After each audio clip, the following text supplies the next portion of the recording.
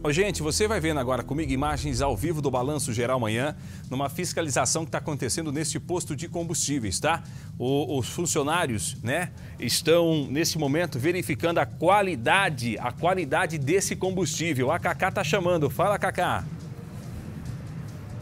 Exatamente, Peruca. É o teste né, sendo feito na hora aqui pelo funcionário da ANP, Agência Nacional de Petróleo ele coloca né, uma, uma parte desse combustível que foi retirado da bomba. A gente está em um posto de combustíveis na Via Anchieta, na região da Zona Sul da cidade de São Paulo. Esse teste é feito aqui na hora. Se comprovada alguma alteração, aí sim esse posto ele pode ser autuado. Peruca, além né, desse teste, tem também o teste de volume. A gente vai mostrar, sair daqui rapidinho enquanto o teste está sendo realizado, para mostrar. São essas bombas esses galões que eles são colocados, acoplados na bomba. Então aqui eles colocam 20 é, litros, né, saindo da bomba e aí eles checam se chegou na quantidade correta dentro do galão. Essa bomba aqui, ela tá assim de forma regular toda a fiscalização acontecendo, o posto lotado neste momento, uma fiscalização idealizada pelo IPEM, o Instituto de Pesos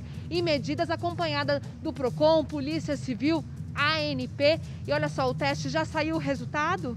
Quanto tempo ele demora? Tá saindo. Vai sair, ó, rapidinho.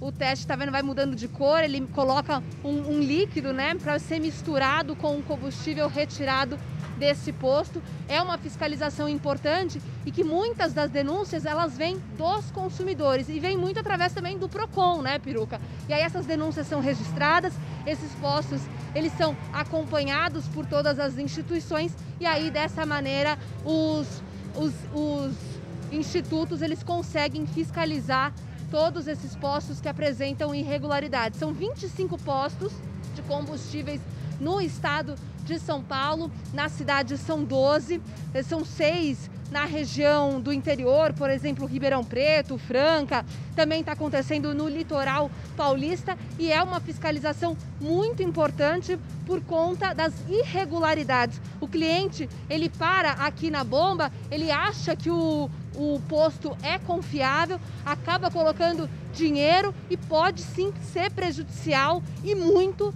para o carro do consumidor. E esse posto está correto, está certo? Já saiu o resultado? Essa, essa amostra aqui apresentou conformidade. Agora vamos examinar as outras. As outras vão ser.